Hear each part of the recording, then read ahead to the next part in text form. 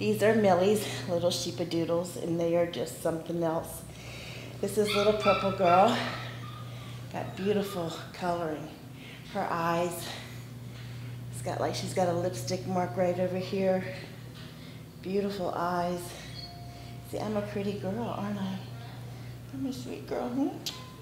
This is little purple girl.